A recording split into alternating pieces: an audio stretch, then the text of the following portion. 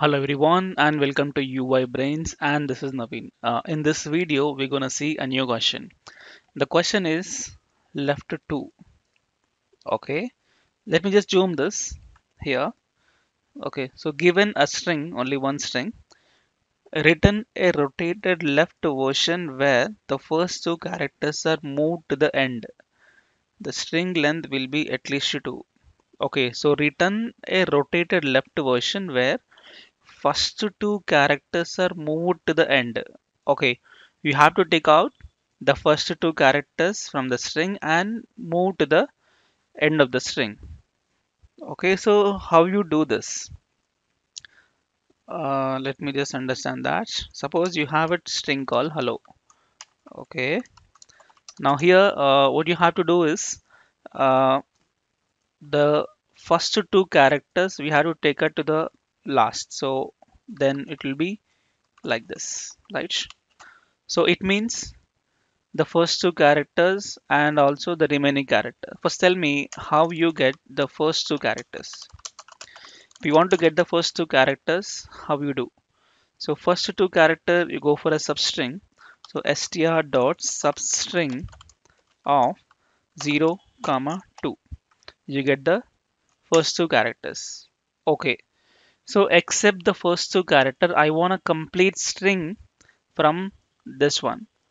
Okay, so how you get this remaining string? Okay, let's make a remaining string. So how to get the remaining string uh, here? Remaining string means what? Except the first two characters. So this is the index 0, this index 1 and I want from the index 2 the whole string. You can go for a shortcut str dot substring of just pass the 2 so from the 2 you get the whole string okay? We say 2 comma uh, some other index called 3 uh, you can do like this or else comma str dot length you can go for. If you don't mention any end string so it will go to up to the end of the string from the starting string okay? So first two characters substring of 0 comma 2 and the remaining string is this one. So what you do? First remaining string plus the first two characters. So str substring of 2 plus str substring of 0 comma 2 that's it. That's the answer. Let me try. Okay so let me just copy this. Go to eclipse and paste. Yeah.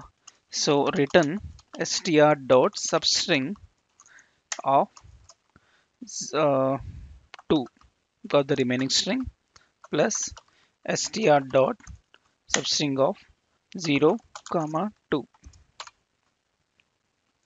okay this is remaining string plus the first two characters.